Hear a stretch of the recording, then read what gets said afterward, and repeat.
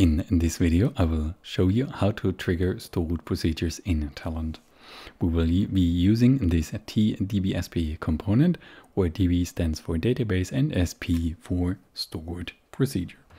So let's head over to Talend to see the example. In Talend, I've got the job open already. Uh, besides opening and closing the database connection, here in the last step, I'm executing a, a stored procedure and this stored procedures content is uh, the return value is shown on the console and the return value is basically of uh, the result of this query here that from the table that I create above um, I do a select count asterisk into count and this is then shown on the console. So then in case the procedure already exists, I drop it. And in the very first step, I basically create in the table uh, at all for the example to use, which is here called uh, SP uh, demo.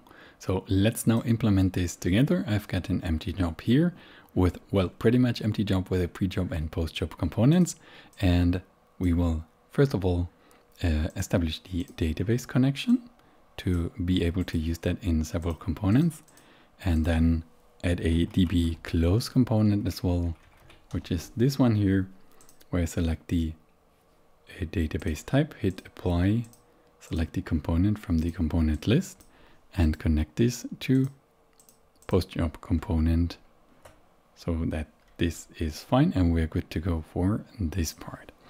Now I want to take a row generator to really have a simple, simple data set with an ID and a name.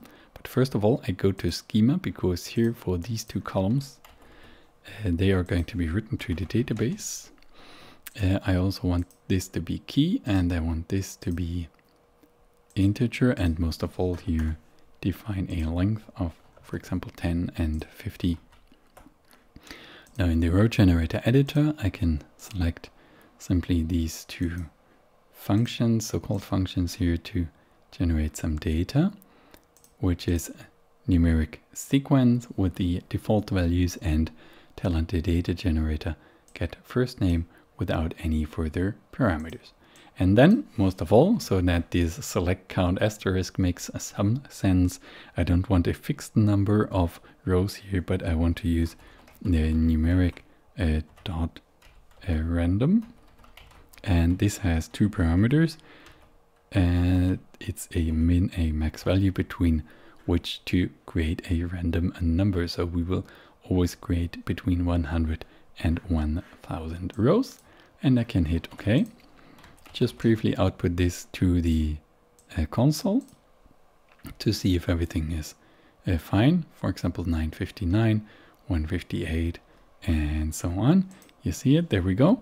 And now I can add a DB output component, all again by dragging and dropping my database component here, uh, my database connection here, and converting it to DB output component. Now here I select use an existing connection.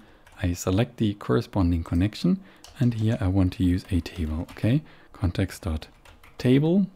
Let me simply call that and here do a drop table if exists and create. And one more thing that I have to do here when I explicitly use a connection, I also have to explicitly uh, commit the data, but not close the connection at the end. And then the trigger on component OK should be uh, doing the commit. So now I run my job again. Uh, I forgot to define this variable table. And this table I called SP demo. I can run this job. We have 831 rows now in, or should have 831 rows now in our table. So we will do what also our stored procedure would do to see if this is correct. And we have 831, which is good. So now move, let's move this further down uh, because we will place some other things here. Uh, first of all, we have a, a, DB row component that we're going to add. The DB row component allows us to do uh, many types of things, many uh, statements on the database uh, that we could also execute on the database itself.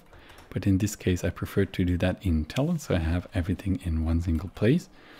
Here I can again put the table name, so I just write context and dot table. And here again, uh, sorry, here in the query field, uh, I will put something like this. So drop procedure if exists and then sp count but in this case, uh, I don't want this to be the fixed name uh, here of the procedure as well as the table. Uh, I want to put a variable here. I will call that, for example, sp and the name of it would be sp count. So I change that slightly. What do I do? I Instead of this fixed value here, I add double quotes, two pluses, some spaces here in between, and then I write context dot sp and so the stored procedure name will be inserted here. And oh by the way I got to select the respective database connection as well.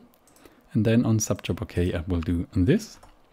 And then we can copy and paste this component and do pretty much the same which is basically recreating the um, stored procedure right? So it's in this statement here, similar to the drop statement. Uh, it has here the uh, procedure name. So again here, I can add some double quotes, some spaces and some pluses in the correct order. And here I can write context.sp and here I can write, uh, do the same again uh, for a context dot a table. All right, so now this here is a step before this, so it should have a trigger uh, on subjob OK. And last but not least, now here we're going to use the stored procedure uh, component, right? Dbsp. Uh, sometimes there may be an error when you want to create that. I don't understand why. It's maybe a bug in Talend because other moments you can just insert the component. So in case that happens again also to you, just be aware of this, that usually closing the job and opening it again uh, fixes the error. All right, and then here also trigger on subjob OK should trigger the procedure. Then here use an existing connection and select which connection to use. And then here for the SP name, write context.sp, really simple.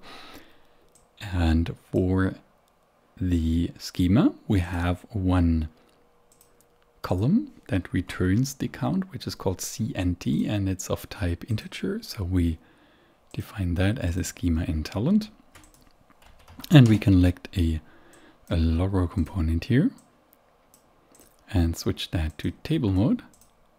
And here in parameters, we have to assign uh, what is count and what type is count. Okay, um, count is a out type a variable.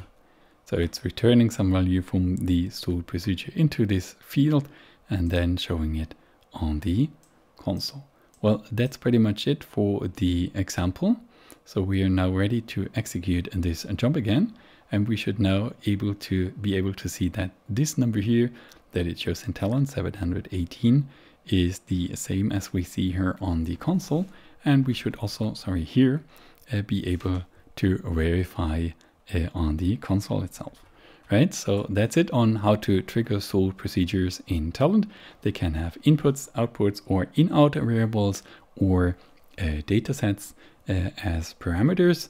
Uh, if you have any questions, search in the Q&A or feel free to send me a message. Now it's your turn, try it out and see you in the next video.